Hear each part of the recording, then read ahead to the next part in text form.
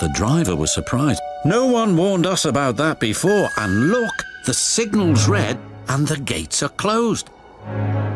Ah, ah, ah, and there's a fogman's coat. But where's its owner? Then they saw a light move within the station building. G -g -g Ghosts! exclaimed Henry. Edward was right. Something very strange is happening, said his driver. I think it's best we go back.